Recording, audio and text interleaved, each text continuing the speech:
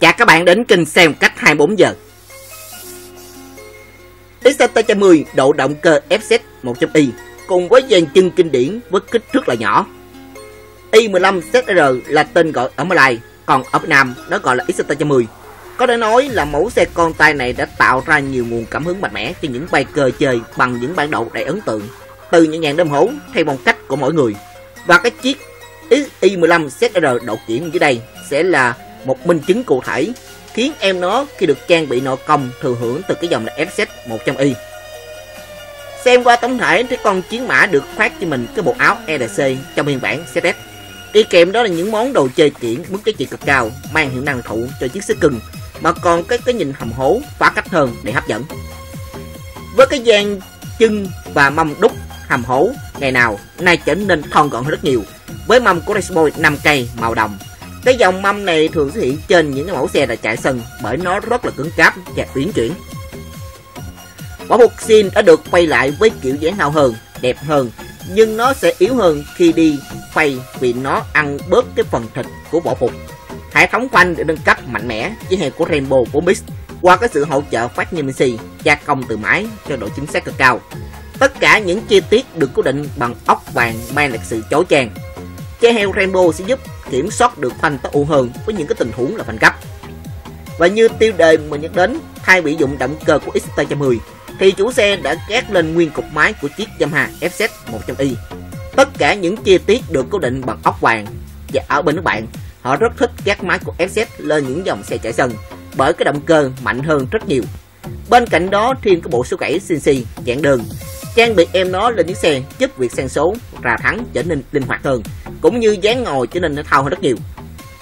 Cấp xin đã được thay thế bằng cấp C, cấu tạo từ nhôm và có thấy được gia công từ máy nên có sự sắc sảo trong từng chi tiết rất cao. Kích thước của cấp này dài hơn so với cấp nguyên bản trọng lượng cũng nhẹ hơn rất nhiều. Hệ thống phanh được nâng cấp mạnh với heo của Rainbow Blitz qua cái sự hỗ trợ phát nhôm CNC gia công từ máy. Đi kèm đó dầu S Cốc này đã được thêm cái bộ nhôm xe đĩa ống ánh kết sắt vàng với đĩa tải nhỏ chỉ khoảng từ 30 đến 34 răng. Hỗ trợ rất tốt trong cái việc là đâm hậu. Cách trên này đang được ức ưa chuộng ở nước bạn. Do sẽ được độ máy lớn hơn bắt buộc phải dùng thêm cái bộ độ DBBA với cái lon titan đẹp. Màu sắc sẽ càng trở nên nó bật hơn rất nhiều ở nhiệt độ cao. Việc chơi bộ này giúp cho thoáng mái hơn rất nhiều. Cái điều chỉnh EQ hợp lý sẽ giúp liên kết với bô trở nên là hoàn hảo, tốc độ là kinh hoàng. Bản độ ghim sâu vào tiềm thức của người xem.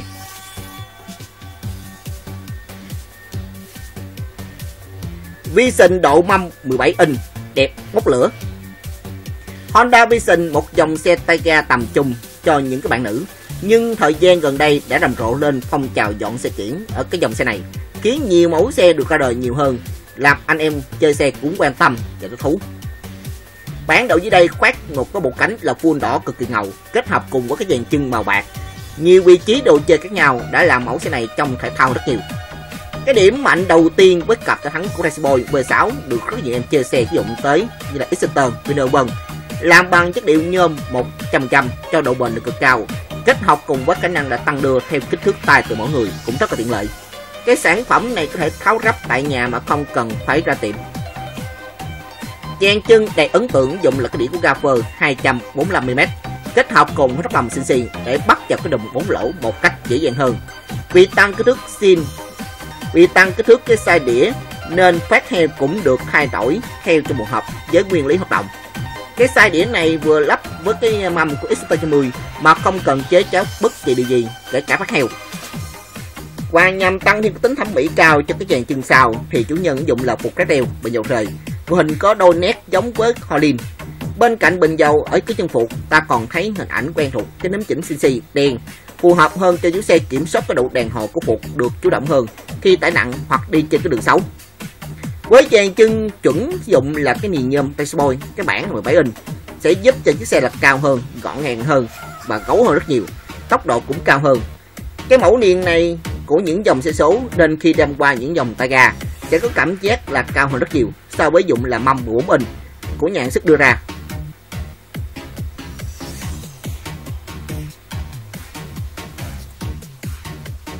cảm ơn các bạn theo dõi này tiếp nhớ like, subscribe